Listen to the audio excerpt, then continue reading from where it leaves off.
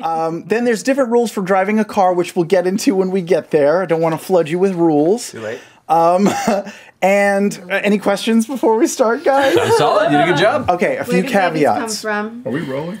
We are rolling. A few caveats before we begin. Number one, I don't know anything about cars,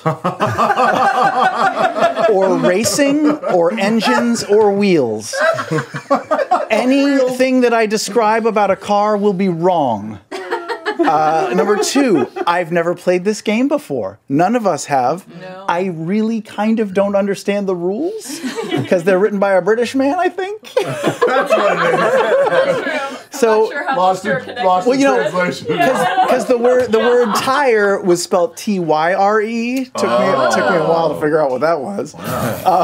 But you would you would still like everybody watching to tweet you the, the correct terminology for Please, everything. please, Yeah, yeah. please. As early Yeah, I want to make sure that you're The rules tonight are going to be a little bit bendy, so uh, just be prepared for that.